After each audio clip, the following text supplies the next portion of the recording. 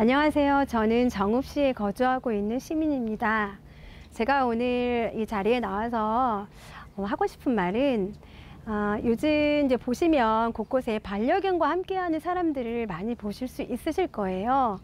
SNS뿐만 아니라 유튜브에서도 다양하게 반려견과 함께하는 가족에 대해서 소개도 많이 되고 있는데요. 제가 저도 반려견을 두 마리를 키우고 있는 입장에서 어, 정읍에 보면 그 전에 박물관 앞에 공원이 하나 크게 있었어요.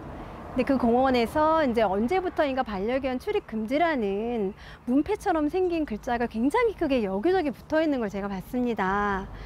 어, 그 전에는 반려견과 함께 산책하기도 너무 좋았던 곳이고 또 한쪽에서는 시에서 하는 그 텐트 문화가 정착이 되어서 전국 각지에서 많은 분들이 오셔서 여행을 즐기고 계시는 것도 제가 알고 있는데요. 가까운 도시 익산에서 보면 애견 테마파크를 조성해서 전국에서 많은 사람들이 와서 함께 휴가도 즐기고 함께 재미있게 놀다 갈 수 있는 곳이 있습니다.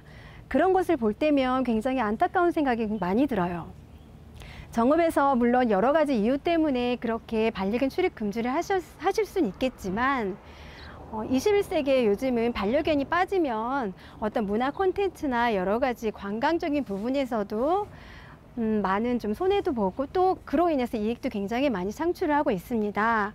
우리 정읍도 무조건적으로 지향하는 게 아니라 타 도시에서 어떤 식으로 반려견과 함께하고 또 어떻게 하면 타지에서 관광객이 정읍을 찾아서 함께 할 수 있는지 어떤 제도적인 것을 잘 확인하셔서 반려견과 함께 관광을 즐길 수 있는 곳으로 좀 만들어 주셨으면 하는 바람입니다.